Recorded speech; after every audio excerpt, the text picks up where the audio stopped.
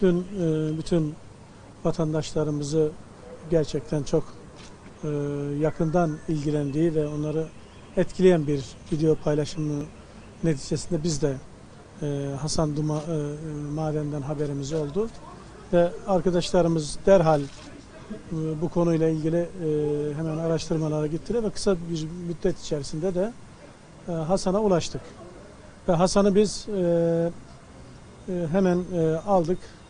E, şu anda da Hasan'ı e, sağlık sorunları nedeniyle bir e, sağlık kurumumuzda tedavisine başladık. İnşallah tedavisinin sonucunda da burada ister burada barınmak isterse burada ya da başka imkanlarımız var orada. Hasan'ın bundan sonraki yaşamının daha rahat, daha konforlu, daha e, gönlünce olması için bütün imkanlarımızı seferber ettik. İşte bazı sağ- sağlık sorunları var. Onun için e, şu anda e, bir sağlık kurumunda tedavi altında. E, inşallah kısa zamanda o tedavisi tamamlandıktan sonra da normal e, hayatına inşallah bir işi olarak bir e, efendim barınacağı imkanı olarak devam edecek.